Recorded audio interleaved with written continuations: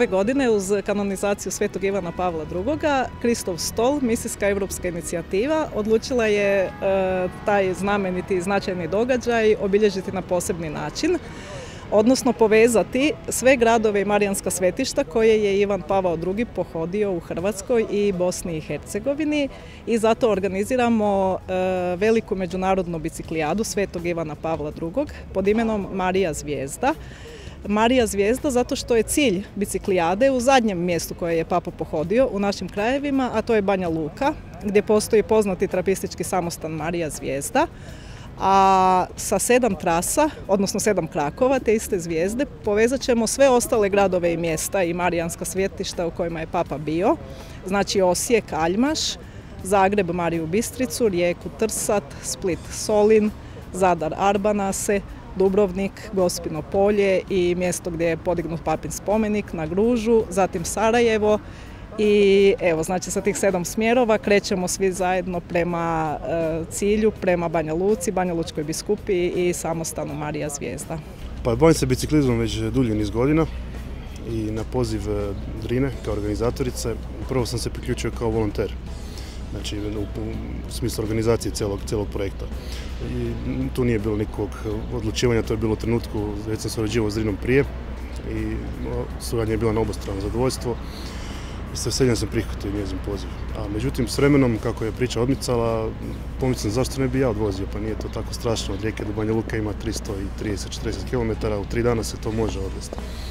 Pa eto, prihvatio sam i tu ideju da vozim trasu. Znači ja vozim od Rijeke do, do Banja Luke. E, znamo da je Ivan Pavao II. eto bio e, posebno svet, kao što je i potvrđeno sada kanonizacijom, ali to nije jedina njegova vrlina. To je vrlina koja obuhvaća sve vrline, a jedna od njih je i njegov sportski duh i njegova posebna ljubav prema mladim ljudima i posebno sudjelovanje u različitim vrstama sportova, pa znamo da je i on sam bio biciklist i evo, htjeli smo nekako u njegovom stilu i u njegovom duhu obilježiti njegovu kanonizaciju.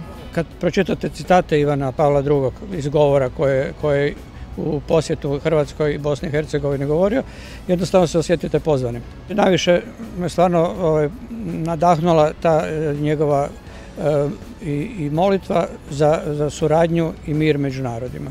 E, svi znamo da je geslo našeg dragog pape bilo totus tuus, znači on je bio posebno marijanski papa i na neki način je to i obilježio posjetom ovih marijanskih svetišta u našim krajevima i evo, prema tome Marija zvijezda u njegovom duhu i eto, posvećenost Mariji, svi nas po njegovom zagovoru. Sport nije jedino sa, sa čime se bavimo, mi dakle promoviramo biciklizam u raznim formama i oblicima. Ovo je jedna forma biciklizma koja, koja je dobra, pozitivna i naravno da ćemo tu pomoći u mjeri u kojoj možemo pomoći.